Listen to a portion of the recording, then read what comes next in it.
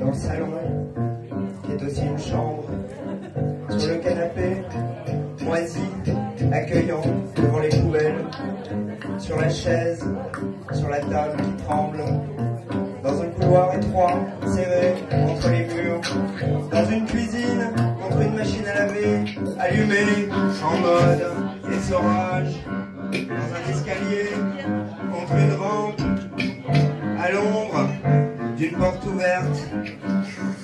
derrière un rideau rouge, attaché à la chaîne de la tronçonneuse,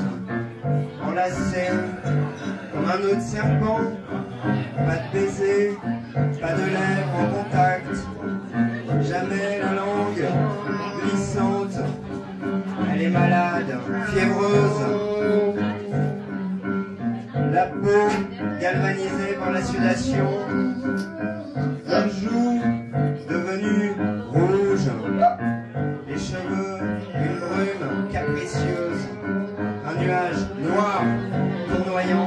nerveusement libérant des petites touches, d'effluves entêtantes, combinées au parfum, acre, salé, évadé, d'un coup découpé finement. Ce qui est enterré s'épanouit dans le ventre, à l'arrière de la tête,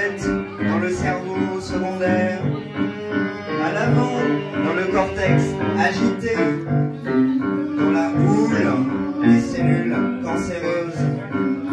les névroses de la peau et de la pensée,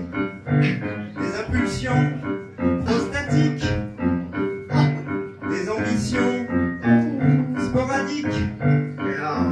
des illusions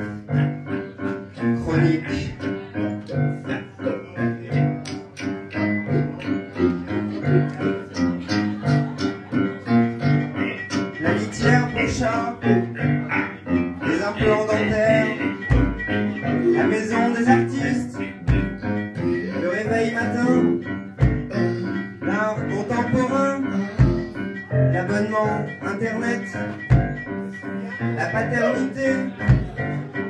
la baignade en novembre, l'électricité de France, les subventions culturelles,